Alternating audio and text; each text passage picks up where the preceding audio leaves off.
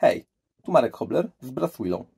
Chciałem Was zaprosić na wspólne śniadanie i na rozmowę o tym, jak marnować czas, zmieniając kulturę organizacyjną. Podzielę się z Wami moimi doświadczeniami w zmianach w czterech różnych, drastycznie różnych organizacjach. Zapatrzcie dobrą kawę. Hej!